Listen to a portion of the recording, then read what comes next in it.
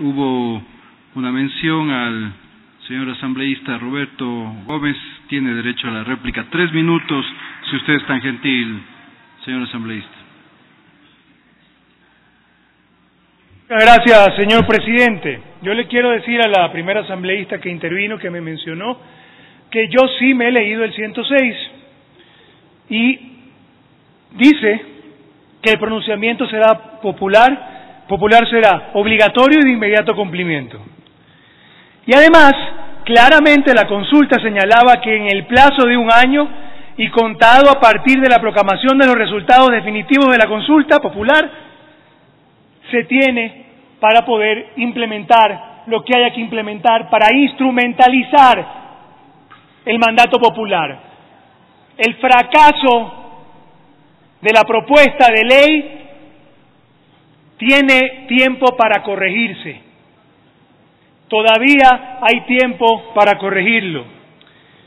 Luego, le agradezco por darme la razón porque ha pedido, sugerido algún tipo de cambio. Me parece que el cansancio lo está haciendo brotar sus sentimientos reales sobre el tema. Por eso, señor presidente, yo le pido que démonos hasta el último asambleísta del país pueda hablar para que digan lo que realmente sienten. Y luego, al segundo asambleísta que acaba de hablar antes de mí, también acaba de presentar una extensa eh, fundamentación de por qué este proyecto de ley no es correcto porque atenta contra los derechos de jóvenes. Acaba de proponer cambios. Señor asambleísta, yo lo invito a votar en contra también.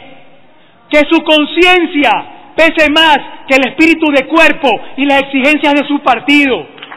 Eso es lo que yo le invito. Y los invito a hacer lo mismo con la votación con respecto al señor Glass. A mí me han dicho siempre, ¿tú crees que vas a poder convencer a la gente de país? No, yo tengo que convencer a nadie de nada. Yo tengo Un minuto, que... señor asambleísta. Gracias.